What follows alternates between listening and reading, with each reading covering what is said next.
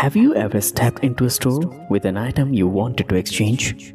Perhaps it was a piece of clothing that didn't quite fit right for you, or a pair of shoes that pinched your feet, or a gadget that failed to meet your expectations.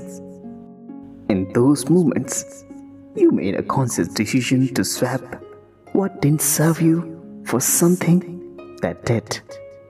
You recognized that holding on to what was ineffective would hinder your progress and opted for a change that would bring about positive results. The power of this exchange principle extends beyond material possessions. It permeates our thoughts as well. Consider the thoughts and beliefs that shape your mindset. How often do you catch yourself thinking, I cannot? These self limiting thoughts hold us back, preventing us from reaching our full potential. But what if we could trade those limiting thoughts for empowering ones? What if we exchanged I can't for I can? A real Christian always moves forward with a mindset of I can instead of saying I cannot.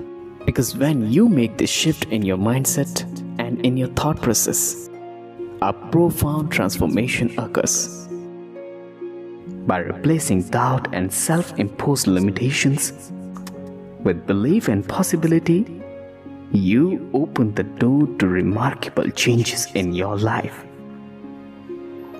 It is through this exchange of negative thoughts for positive ones that you unlock your true potential and invite the extraordinary into your reality. Embracing the power of I can thoughts is not just a shift in mindset, it's a declaration of self belief and resilience. It is a conscious choice to let go of the chains that bind you and step into a realm of limitless possibilities by affirming your ability to achieve, overcome, and succeed. You align yourself with the forces of positivity and abundance. So, my friends, I invite you to embark on this transformative journey of thought exchange.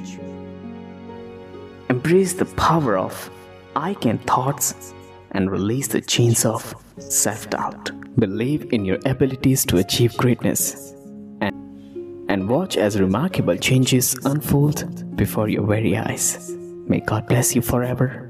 Amen.